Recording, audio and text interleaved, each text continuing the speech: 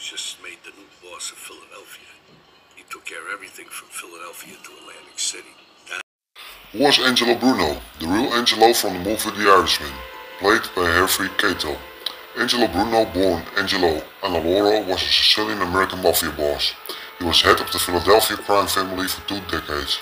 He was nicknamed the Gentle Don because he preferred reconciliation to violence.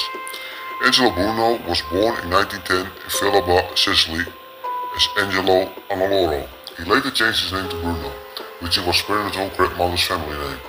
As a teenager, he emigrated to the United States, settling in Philadelphia.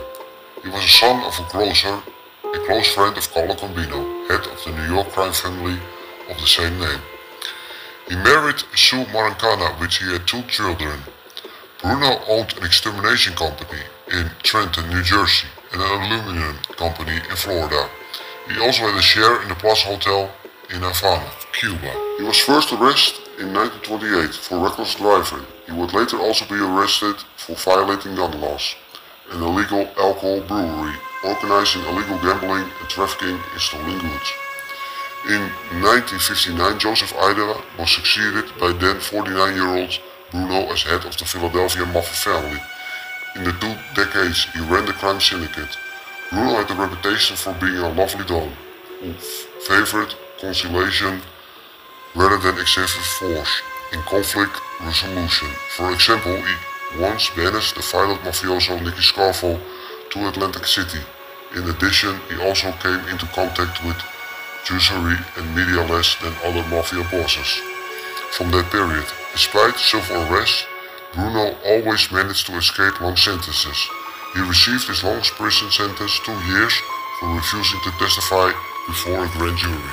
Because the Atlantic City gambling industry was very lucrative, the five families, New York, five powerful crime families, wanted to share in the profits, although Atlantic City had always been considered part of the Philadelphia Mafia.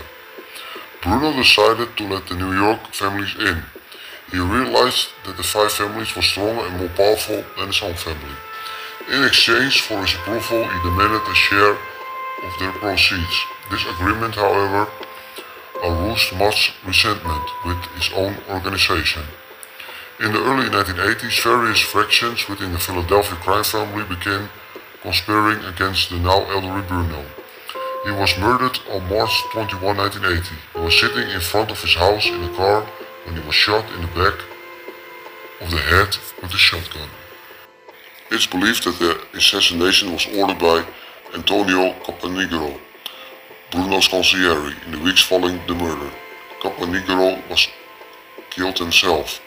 His body was found in a body bag and with dollar bills stuffed into his mouth and his anus as a symbol of his greed.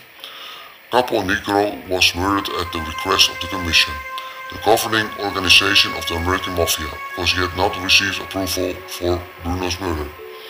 Other members of the Philadelphia crime family involved in Bruno's murder were also tortured and killed.